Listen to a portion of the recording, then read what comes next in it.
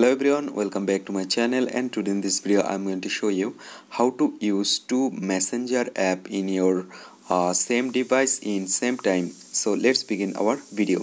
So here you can see i already have a messenger app and I need to another uh, messenger app for use uh, two different um, account in same time in my same device. So how can I get another uh, messenger app? I'll show you that. So just open on your phone settings and just scroll down and open apps.